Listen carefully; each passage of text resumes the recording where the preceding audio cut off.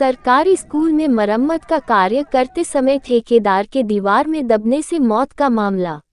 फिरोज खान, सीसवाली, राजकीय उच्च माध्यमिक विद्यालय की कमरे की दीवार का मरम्मत का कार्य करते समय दीवार व कमरे की छत नीचे आ जाने से मलबे में ठेकेदार दौलतराम उर्फ़ पप्पू प्रजापत पचास की दबने से मौत हो गई थी। इसको लेकर गुस्साए पर जनों व समाज के लोगों ने शव लेने से इनकार कर दिया था। और कल से सीनियर विद्यालय के सामने मृतक को आर्थिक सहायता व सरकारी नौकरी की मांग को लेकर विरोध प्रदर्शन किया जा रहा है।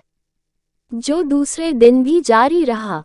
परिजन व समाज की महिलाओं व पुरुषों ने रविवार को भी रोड जाम कर विरोध प्रदर्शन किया।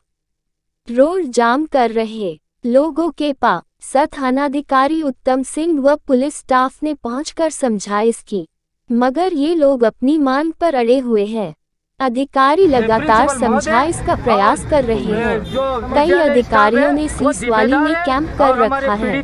वही सीसवाली पुलिस ने विद्यालय के प्रधानाचार्य धनराज महावर व चार अध्यापक के खिलाफ मामला दर्ज कर लिया है। समाज के लोगों का धरना चल रहा है।